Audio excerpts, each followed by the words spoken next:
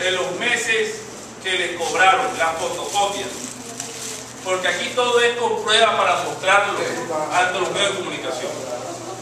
Y si eso ocurrió, ténganlo por seguro que el día 21 de agosto o 24 de agosto en la ciudad de Cartagena se le va a hacer un control político a la empresa Electricaribe. Así que esos son los espacios necesarios que nosotros necesitamos. Y este martes voy a presentar una proposición a la Comisión Quinta para que venga al sur del departamento de